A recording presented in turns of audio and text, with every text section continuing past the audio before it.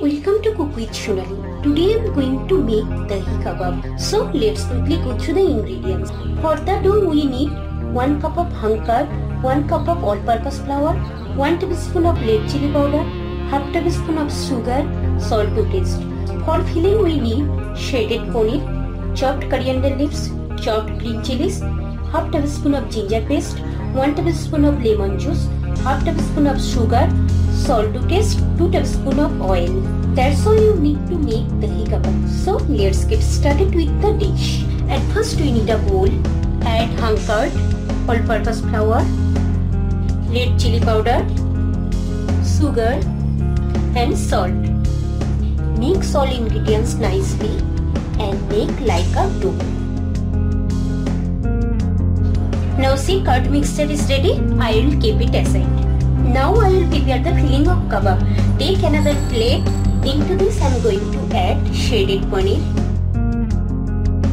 chopped coriander leaves, chopped green chilies, ginger paste and lemon juice.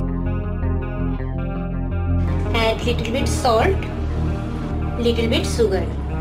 Mix all those ingredients nicely. See kebab filling is ready. Now keep it aside.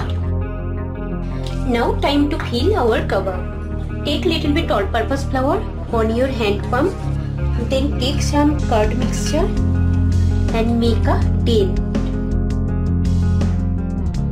Now fill the dent with paneer mixture. Then cover it and make a round shape. Make a like a chapati.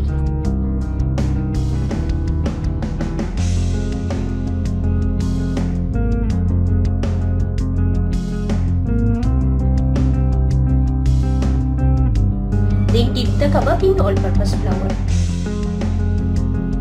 Likewise, I will make all the kebab. Now see, all kebabs are ready. Now I am going to shallow fry. Now heat oil in tawa. Once the oil is enough hot, then add kebab pieces one by one.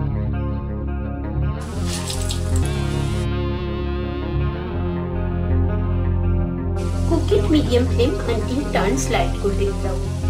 Once the one side is turned light golden brown, then flip it and cook other part also.